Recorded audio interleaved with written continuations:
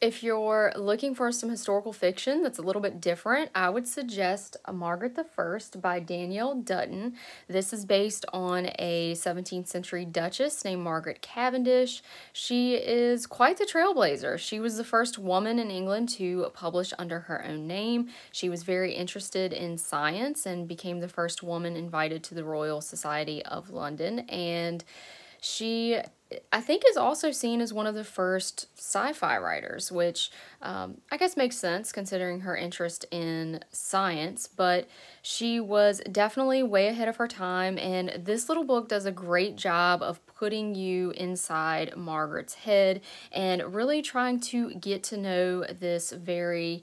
Um, little known and you know controversial sort of character. She was sometimes referred to as Mad Madge, and uh, yeah, I really enjoyed it.